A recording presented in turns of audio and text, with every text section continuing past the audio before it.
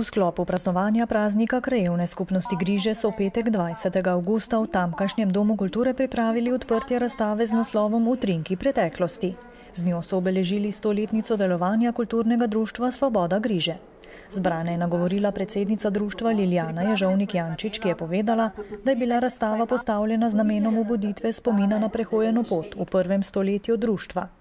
Razstavljene so bile fotografije, slike, zapisi, priznanja, vabila, ki so obiskovalce v mislih popeljale na številne prireditve, predstave, koncerte in razstave.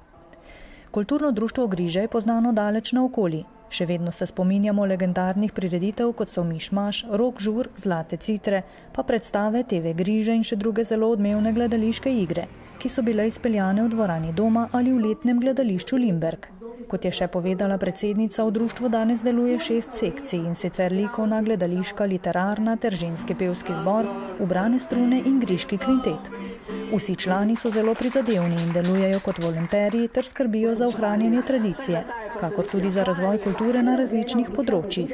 Čestitke v jubileju sta izrekla predsednica krajevne skupnosti Griže Olga Markovič in žalski podžupan Roman Virant. Vsem članicam in članom sta zaželela še veliko ustvarjalnosti in kulturnega zanosa. Prepričana sta, da bo kultura ravno zaradi takšnih društev in članov preživela in se razvijala.